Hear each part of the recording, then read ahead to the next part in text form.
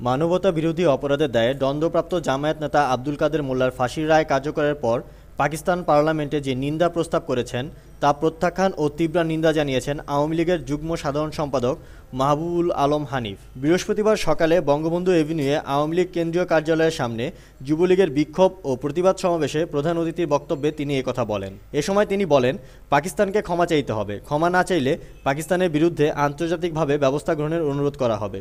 আজকে পাকিস্তানের পার্লামেন্টে বলা হয়, কাদের মোল্লা তাদের পাকিস্তানের একজন সৈনিক ছিল। সাথী ভাইরা আমার আপনারা লক্ষ্য করেন। তারা বলে যে পাকিস্তানের একজন সৈনিক কাদের মোল্লাকে ফাঁসি দেওয়া হয়েছে।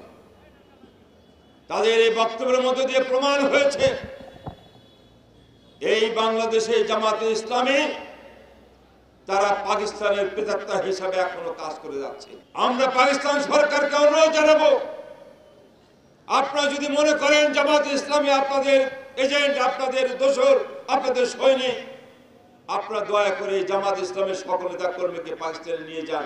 এই বাংলাদেশের সকল যুদ্ধাপরাধী রাজাকারদের বিচার করে, তাদের বিচার রায় কার্যকরকে, কার্যকর করে বাঙালি জাতিকে ত্রিশ লক্ষ শহীদের আত্মার অভিশাপ থেকে আমরা মুক্ত করি।